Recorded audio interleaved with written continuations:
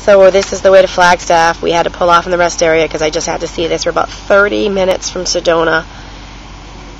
And on the way to Flagstaff in the Grand Canyon on Saturday. Look at this view, other than the fact that the snakes and scorpions. This is absolutely breathtaking.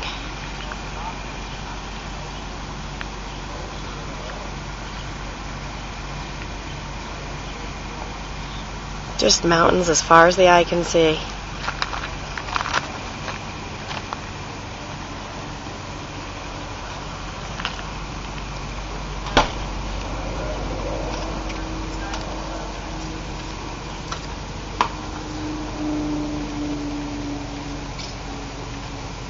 I'll send these to.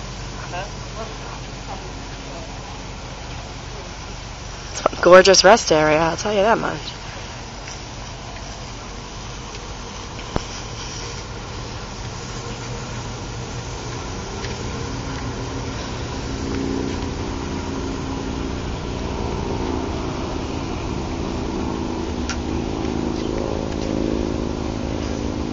We are pretty high up.